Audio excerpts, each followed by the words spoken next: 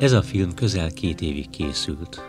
Ez a két év időt adott arra, hogy megpróbáljuk értelmezni mindazok gondolkodását, félelmeit és cselekedeteit, akik részt vettek ennek a hol tragikus, hol komikus, de leginkább szürreális világnak a felépítésében.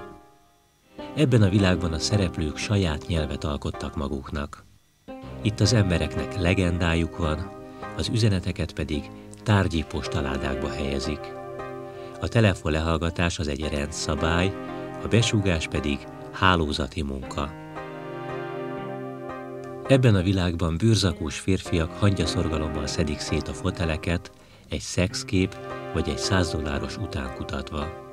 Itt a vásznat ügynökök, figyelők és ellenfigyelők, nyomozók és tartótisztek népesítik be, akik konspirált lakásokban találkoznak, hogy jelentéseket írjanak saját maguknak.